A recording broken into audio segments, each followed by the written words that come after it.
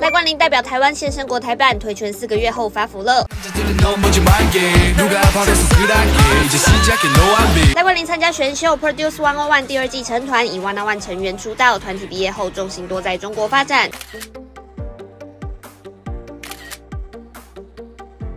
赖冠霖每逢十月一号必会发声庆祝祖国国庆，还说要参加中共国庆招待会。不料今年六月十四号，他突然将微博改成全黑，发文要转变赛道，告别目前和经纪公司解约，转往幕后。而如今却在央视新闻看见他出席国台办活动的身影。